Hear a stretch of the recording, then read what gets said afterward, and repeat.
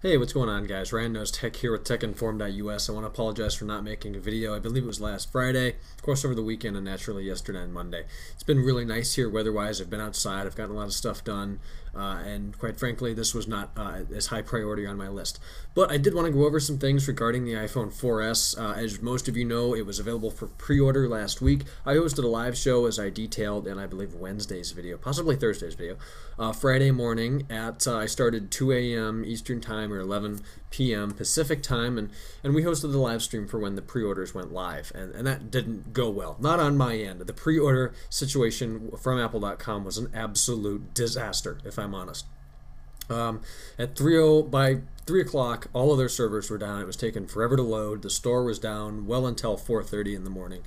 Uh, I did actually stay up right around until 5:05 in the morning um, Eastern time, which was 2:05 in the morning uh, Western Pacific time, um, and I still couldn't order it. Every time you'd get through a different step in the process, and it would just hang and freeze. And by that time, I had to get up in three hours and go to school. So I killed that. Got up the next morning at 8 o'clock, a couple minutes early. Ordered it, no problem. Took two minutes. I did get a 32 gigabyte version. The color I'm leaving undisclosed until, or disclosed, whatever, until uh, this Friday when mine is being delivered. Everybody, or it says um, the first, they sold a million of them day one. That is better than any other iPhone has ever done. Um, so really impressive. Great job with that. Um, but they're going to be here according to the tracking information and apple.com slash order status or whatever that is by the 14th which is friday so i'm excited for that today's the 11th on tuesday um, so a Friday delivery should be good. If you ordered it, um, I don't know the exact date. Check your uh, statements from Apple if you did order it. Uh, too far after the uh, pre-order date of last Friday the 7th, uh, you're going to be waiting one to two weeks. They sold out of their entire pre-order stock. They did really good sales. They sold a lot of these.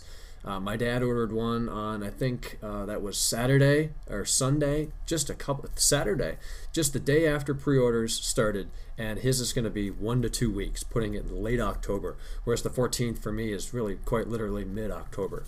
So uh, the iPhone pre-order situation, um, in, in some ways it was a success. They sold a million of them, and in some ways it was a failure. We had to wait several hours into the morning, and it was slow and bogged down. But what do you expect when you have hundreds of thousands of people all trying to do the same thing at the same time? Wanted to go over a couple different news things here. We've got a couple uh, videos with the iPhone 4S. A couple have been delivered to German customers already. I wonder who effed up there, but uh, there's actually an official review here. They went over Siri, some interesting responses uh, when asked, um, "I love you" and "How old are you?" Pretty pretty odd. You might want to check that video out. Of course, we're on MacRumors.com here. Got another Siri demo here. iTunes uh, 10.5 has come out today. It's probably not going to show up in my software update uh, window here as uh, I'm running the beta right now. I don't know if it's smart enough to see that. Probably have to log into my dev center and download 10.5. But that's out. You're going to want to update to that just by going up here, software update. If you have the beta of 10.5, beta, whatever, you're going to need to go into the developer center and download, I'm, I'm sure it's there, um, the final version of 10.5. There is also a beta 10.5.1, which is the iTunes Match dev test um, beta so you'll probably want to check that out. Um, expect iOS 5 tomorrow on Wednesday, the 12th. Uh, I'm not going to be putting it on my iPhone 4 because I'm going to have the 4S two days after, so why waste that time? I will, however, put it on the iPad 2 tomorrow if I have time. I'm running beta 7 right now. It's a little buggy, but it's not too bad. Apple's uh, replaced their replacement policy here with Apple Care Plus. New feature, it's 30 more bucks. Kind of a pain if you'd like to go and read that. Uh, some more information with the iPhone 4S here. Uh, Sam's Club is going to be taking reservations, so I guess that's kind of cool. There's the box. It's white. I don't know. It looks like a black one in there, so maybe they have just changed the entire box. The iPhone 4 box is black. This one looks white. You know, big deal. And uh, then we've got some benchmarks here. I just wanted to quickly go through this, guys. If you hate the new stuff, I'm sorry. I thought I'd give my own take on some of this. And last time I did get some positive feedback.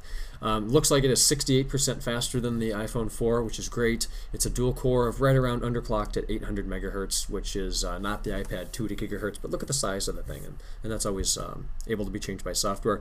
We've got some nice graphs here showing how the iPad 2. I'm looking at the second graph right now on the bottom. The iPad 2 is all the way up at the top, then the 4S, then we've got the Galaxy S2, and notice that's a 1.2 gigahertz chip. So that's just bad software. They're controlling that. As, uh, as you can see, the software update did not find that update.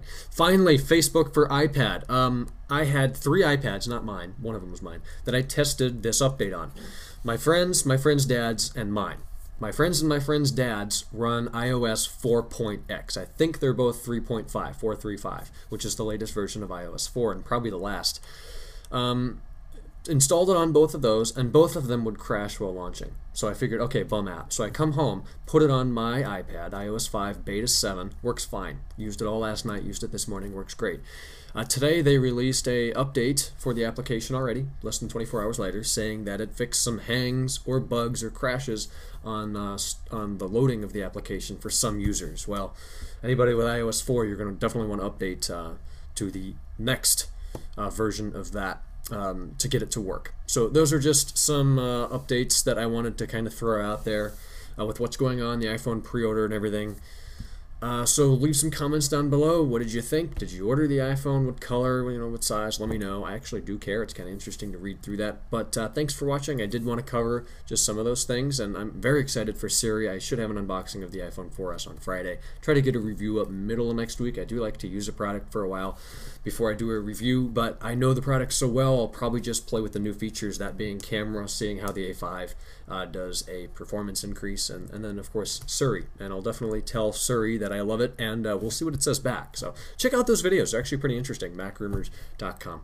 Again, thanks for watching. Be sure to check out our site, techinform.us. My Twitter is twitter.com slash James R. Schultz. And I'll talk to you guys, I hope so, if I have time, tomorrow on Wednesday for the uh, 12th day of the month's video. All right, thanks again. Subscribe. Talk to you guys later. Bye bye.